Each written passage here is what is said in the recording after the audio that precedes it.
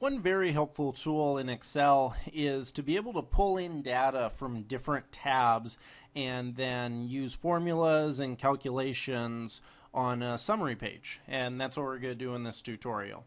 You can see here on this page that we have a Little League Baseball team called the Yankees. On the left hand, we list all of the players, and on the right hand side, we want to show what their batting averages are. We could keep it all on one page, but depending on the type of statistics or data you're putting on it, uh, that could get a little bit cluttered and messy. Here's a way where we can pull in data from other tabs and simply display the results here on one page. So to pull in data from a third part or from a, another tab, all you have to do is select the cell that you want to put it on. As with all formulas, click the equal sign and then select the tab that you want to pull from. So this is for the David player. We're going to come down the David tab and select the number of hits and divide that by the number of at-bats. You can see here in the formula bar that it automatically has placed in the tab name, David, and uses an exclamation mark so that we know it's a tab.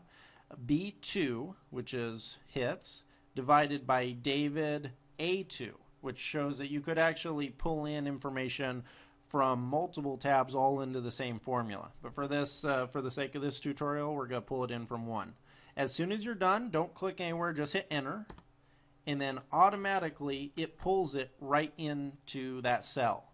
Uh, sometimes, depending on your default settings, it might pull in uh, a a number, if you're doing an average or percentage, it might pull in something that has seven or eight decimal points. Uh, I have it so it uses baseball uh, best practices and just uses the three decimal points. So it shows that David is hitting 402. Now, we want to do this for all of the players, and instead of having to go into each one of these uh, tabs and do the same thing because that would get a little bit cumbersome. Uh, Excel makes it so that we can simply copy that all the way down and not even have to leave this page. Uh, we can't, for, before we can go and copy it though, uh, there is one process we have to do, uh, which is to select these cells because if we just copied this all the way down, it would start doing B3, A3, uh, and go on all the way down the alphabet because it think uh, Excel automatically thinks that we're doing something sequential. But instead, we're going to highlight it, click F4, highlight A2, click the F4 or function 4 on the on the top of your keyboard, and hit enter.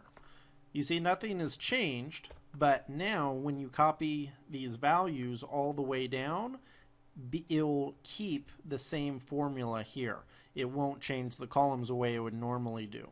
So we're going to click and drag and you see that it's just duplicated this value all the way down and now all we have to do is is change what the tab name is. So this isn't for David, this is for Ike.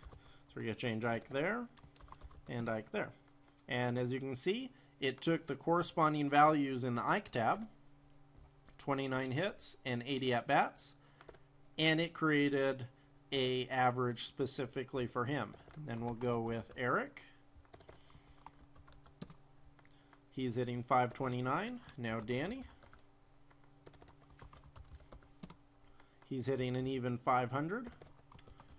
Fred and we could go take this all the way down and you can see that Excel automatically is pulling in those data that data from those other tabs and it's placing it here on the spreadsheet. This is a great way to be able to summarize any of your information quickly and easily on one page.